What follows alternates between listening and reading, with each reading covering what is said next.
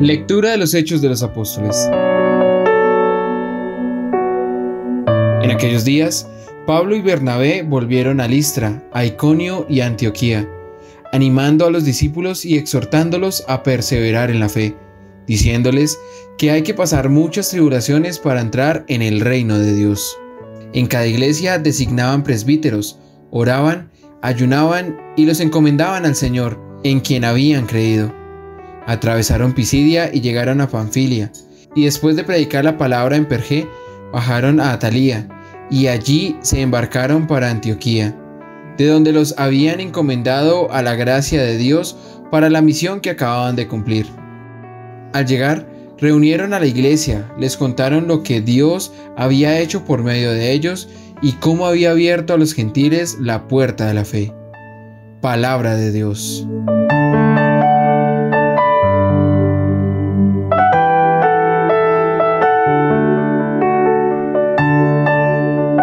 Bendeciré tu nombre por siempre, Dios mío, mi Rey.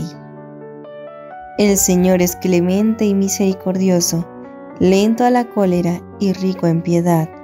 El Señor es bueno con todos, es cariñoso con todas sus criaturas.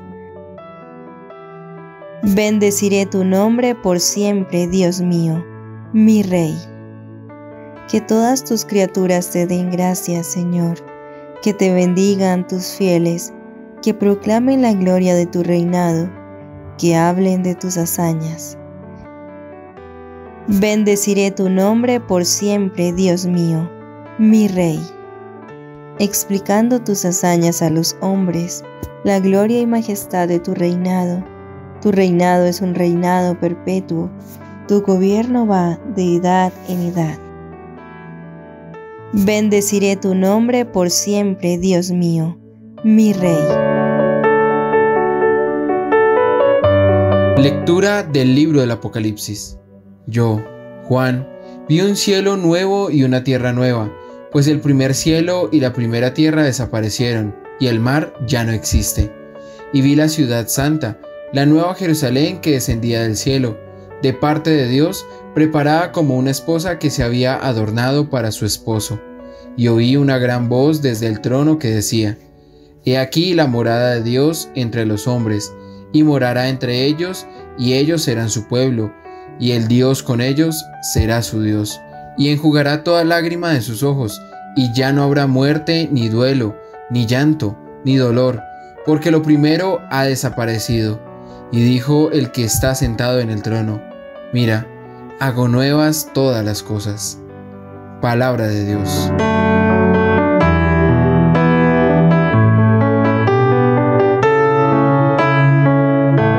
Soy su amigo el Padre Cifranco.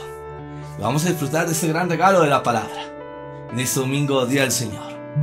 Para que gozosos, alegres, ya que Dios nos llama y nos invita a ir su palabra y así juntos podamos ver la gloria de Dios. El Señor esté con ustedes. Lectura del Santo Evangelio según San Juan. Gloria a ti, Señor. Cuando salió, dice Jesús, ahora ha sido glorificado el Hijo del Hombre, y Dios ha sido glorificado en él. Si Dios ha sido glorificado en él, Dios también le glorificará en sí mismo, y le glorificará pronto. Hijitos míos, ya poco tiempo voy a estar con vosotros.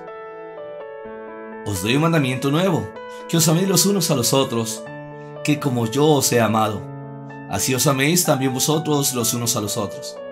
En esto conocerán todos que sois discípulos míos, si os tenéis amor los unos a los otros. Palabra del Señor. Gloria a ti, Señor Jesús.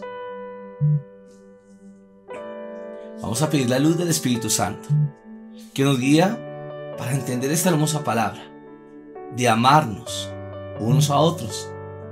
Y eso se realiza a través de la bendición, que nos lleva al servicio, de buscar siempre lo mejor para nuestros hermanos. Espíritu de Dios, ven sobre nosotros, guíanos, para que podamos entender esta hermosa palabra. Nos invita al amor, a la misericordia, a reconocer a nuestro hermano tú que lo llamas a ese signo de amor, de conversión,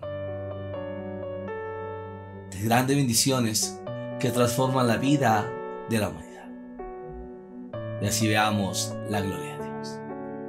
Acompañado del amor maternal de la Santísima Virgen María, con todos los santos y ángeles de Dios. Amén.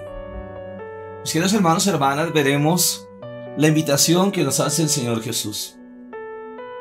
Primero, en esa unidad que hay entre el Padre y el Hijo. Ahora ha sido glorificado el Hijo del Hombre. Y esto nos enseña que el mismo Jesús a través de sus palabras nos enseña cuánto nos ama, que somos regalo de su infinito amor, que esa unidad lleva a hacer la voluntad de Papá Dios, que Jesús se entregará por nosotros para salvarnos. Si Dios ha sido glorificado en él, Dios también le glorificará en sí mismo. ¿Por qué? Por sus palabras, obras, la invitación que nos hace al reino, de llevar estos regalos, esas herramientas que necesitamos para seguir esa vida espiritual, esos regalos de Dios. Dios también le glorificará, en sí mismo le glorificará pronto. Es que se cumple lo que anunciaban los profetas. El verbo se hizo carne. El Hijo de Dios, el Mesías, el Cristo, el ungido de Dios. Y qué interesante es ver cómo el Señor va a mostrarnos eso interesante, las palabras de, de su amor, que no ha venido por los sanos, sino también por los enfermos, que viene a sanar a estos hermanos que sufren situaciones complejas, difíciles. Y lo que no le gusta a, los sumos sacerdotes, a los escribas y fariseos, es que el Señor sana en sábado. Y es que muestra que el sabbat es la misericordia de Dios. Es cierto, nosotros como cristianos católicos santificamos el día domingo, pero el día domingo también es día de misericordia, de siempre estar dispuesto a escuchar el corazón del otro. ¿Has dispuesto tu corazón para escuchar el corazón de tu hermano? Algo interesante para meditar.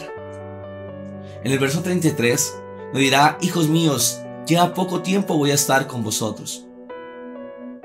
Os doy un mandamiento nuevo, que os améis los unos a los otros. Que como yo os he amado. Eso significa aceptar a mi hermano tal como es, pero también con el compromiso de ayudarle, que vamos a trabajar en equipo para que cada uno podamos ser mejores personas, que tengamos el amor, la paciencia, la paz, la ayuda, el servicio a nuestro hermano. Sé que no es fácil, pero vale la pena. Que nos invita a la palabra que como yo os he amado, así os améis también vosotros los unos a los otros. En eso conocerán todos que sois discípulos míos, si os tenéis amor los unos a los otros. Eso significa el tener el corazón dispuesto para escuchar a nuestro prójimo. Vemos cómo pasa en el mundo. Una persona que hace cosas buenas, muy bien, lo felicitamos, eh, le damos reconocimiento, muy bien. Y si llega a cometer una embarrada, ¿Qué se hace? Se señala. Ese fue. Y lo importante es entrar en el corazón de esa persona y decirle, bueno, ¿qué te pasó? ¿Qué te llevó a esta situación? ¿Por qué actuaste de esta manera? ¿O te engañaste a ti mismo? ¿O pensabas que estabas haciendo bien las cosas, pero no? Porque te engañaste a ti mismo y a los que te aman. Entonces es para reflexionar, no para juzgar y seguir señalando, sino mirar cómo podemos ayudar a nuestro prójimo. Eso es lo importante. Veremos a través de los hechos de los apóstoles cómo San Pablo, conocido como el apóstol de los gentiles, hace esas grandes travesías. Va con Bernabé, eh, volvieron a Listra, a Iconio, a Antioquía. ¿Y qué era lo importante? Animaban a los discípulos y los exhortaban. ¿Y en qué? En la fe. Por eso Hebreos 11.1 nos dirá, la fe es tener seguridad de lo que se espera, certeza de lo que aún no se ve. Romano 10:17 nos dirá, la fe viene por el oír y el oír la palabra de Dios. Y también decía que se tenían que pasar por muchas tribulaciones. En ese tiempo la iglesia primitiva era una iglesia perseguida. Ya veremos en el edicto de Milán con el emperador Constantino, el año 313, que ya habrá una paz para los cristianos y así poder transmitir el regalo de la fe y conformar esas iglesias, esos regalos de Dios. Veremos cómo al llegar reunieron a toda la iglesia. Les contaron lo que Dios había hecho por medio de ellos y cómo había abierto a los gentiles la puerta de la fe. Veremos esa gran bendición que se extiende por todos los pueblos del mundo. Nuestra fe católica, esa gran bendición, nuestro cristianismo, que nos sentimos alegres y gozosos a través de la palabra, pero también de la historia. Por eso nos dirá el salmista, bendeciré tu nombre por siempre, Dios mío, mi rey. Es que lo bendigo en todo momento, porque nos da el don de la vida, porque tenemos estos regalos que nos da. Cuando oramos, hacemos viva nuestra fe. Y son grandes regalos, grandes bendiciones. Y también, pues sabemos que estamos en un caminar y debemos reconocer también nuestras fallas, pero siempre en ese amor de Dios. El Señor es clemente y misericordioso, lento a la cólera, rico en piedad. El Señor es bueno con todos, es cariñoso con todas sus criaturas. Es solamente abrir el corazón, orar y veremos grandes bendiciones. Ahora nos unimos a través de la oración para clamar al Señor de la vida, para unirnos con todo el corazón, para ver esas grandes bendiciones que se dan en la vida de la humanidad, porque hemos nacido para ver la gloria de Dios. En el nombre del Padre, del Hijo, del Espíritu Santo. Amén. Padre del cielo, te da muchas gracias porque nos amas, porque eres bueno con cada uno de nosotros que envías a tu Hijo, que nos enseña esos misterios de amor, del reino, de esa buena noticia como es el Evangelio. El milagro más hermoso tu cuerpo y tu sangre, Señor, que se han quedado en la Eucaristía, pan de vida. Y a la luz del Espíritu Santo, darnos esos talentos, esos dones maravillosos, para saberlos administrar. Y así, por llevar esta obra de evangelización a tantos que están en la tristeza, en la angustia, en la depresión, en la oscuridad, o que se dejan seducir por el mal, cuando los viene a engañar, a seducir, para buscar la adivinación, las cosas ocultas, o aquellas situaciones difíciles que viven en la vida y tratan de buscar respuestas a través de la hechicería. Eso no está bien. Eso destruye tu vida. Ten cuidado. O como el mal seduce a través de los vicios. Muchas personas que quieren huir de su realidad. Por eso el alcohol, la drogadicción donde estos vicios los van destruyendo, matando poco a poco. Te invito a abrir tu corazón, a buscar la presencia de Dios. Cuando vemos a través de la oración ese sentido de vida. Qué bonito es aprender unos de otros. Eso lo hace a través del amor. De ese amor que viene de Dios. Por eso hay que quitar esos eh, rencores, resentimientos, odios. Sé que no es fácil, pero cuando oras con fe, entregas tu corazón, entregas tu cansancio, el Señor hará las cosas nuevas. Para entender ese sentido de la vida, para dar gracias a Dios por su creación, que debemos cuidar, cuidado con la contaminación, de botar basuras. Somos responsables de la vida. Orar por nuestras naciones, Qué bonito cuando nosotros vamos a otro país y llevamos en alto el nombre de, en el caso mío de Colombia, usted de su país. Eso es aprender unos de otros, porque somos hermanos. Qué bonito es ir más allá y orar también por las naciones, los gobernantes. La gran responsabilidad que tienen de gobernar. Y cuidado con algún torcido alguna forma en que esclavice y destruya a sus hermanos. Porque Dios respalda al humilde. Qué bonito es la familia.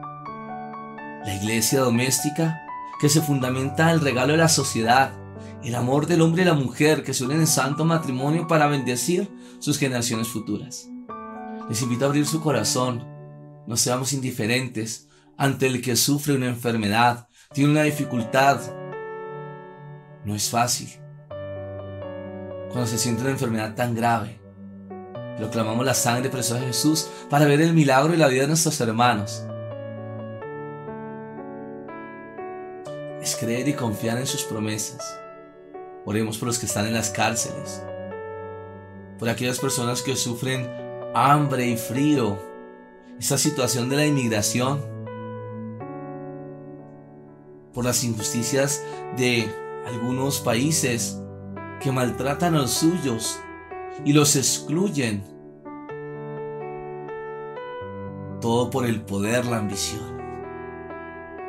Pidamos al Señor de la vida, el de saber amar, el de construir un mundo mejor. Claro, pero aprendiendo unos de otros. Esa es la gran riqueza, que nos hace vivir nuestra fe como hermanos, que nos invita a orar, a meditar la palabra, a vivir el regalo de la Eucaristía, para que tú y yo podamos siempre dar gloria a Dios. Y ante los momentos difíciles, ante esas situaciones que se presentan, sabemos que tenemos un Dios que nos respalda. Es orar y saber esperar en el Kairos, en el tiempo perfecto de la bendición de Dios, que transforma la vida de la humanidad. Ahora nos preparamos para esta hermosa bendición. El Señor esté con ustedes. Y la bendición de Dios Todopoderoso, Padre, Hijo y Espíritu Santo descienda sobre ustedes y les acompañe siempre. Amén. Qué bonito es llevar la obra de la evangelización, de esas palabras del Señor Jesús, para que queden en el corazón y puedan dar fruto, vida abundante para ti, para que cada día podamos ver que ante los momentos difíciles Dios está con nosotros. Cuidado con la desesperación, con tomar decisiones a la ligera, porque te vas a hacer daño. Es orar y entregar esos sentimientos que sabemos que son difíciles, pero que cuando nos encontramos con nuestro amado Jesús, nos dará la paz, la sabiduría para saber resolver ese problema. Feliz día domingo, día del Señor. El Señor ha resucitado. Aleluya. Aleluya.